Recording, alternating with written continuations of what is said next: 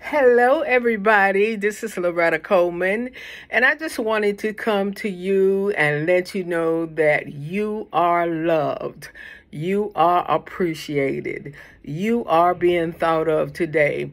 God told me to tell you that He loves you.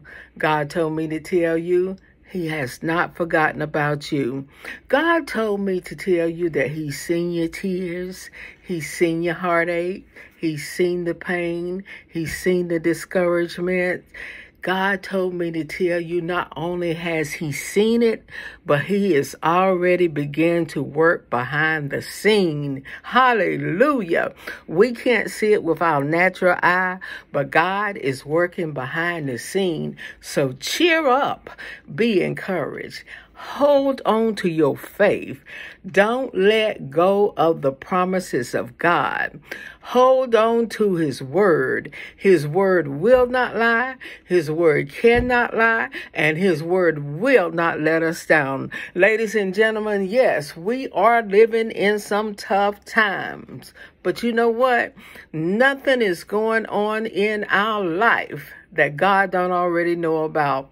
Nothing catches him by surprise. It may catch us by surprise, but nothing, my friends, catches God by surprise. So, Let's trust in Him. Let's rely on Him. Let's keep our eyes focused on Him. If we get a little discouraged, that's okay. Pick up the pieces. Start where you left off and let's go at it again. He didn't say we wouldn't fail. He didn't say that. But we got to keep going. We got to keep pushing and we got to keep pushing and we got to keep pushing and we got to keep pushing until we reach the finish line. Ladies and gentlemen, I am a living testimony of what God can do.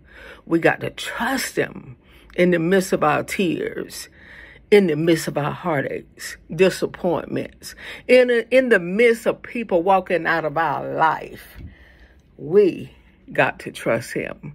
And that's what I'm telling you. Trust him. God is not like man. He won't let you down. He's going to always be there. He's going to be there through the thick and he's going to be there through the thin. He's going to be there when you got money and when you don't have money. He's going to be there when you're sick and he's going to be there when you're well.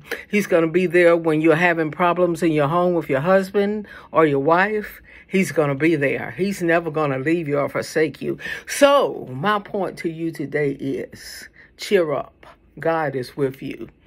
He haven't forgotten about you. He has your situation on his mind. And he had me to come and remind you, just to tell you that you are not forgotten. So hang in in there. Hang on in there. You know why? Because your blessing is just around the corner. Be encouraged.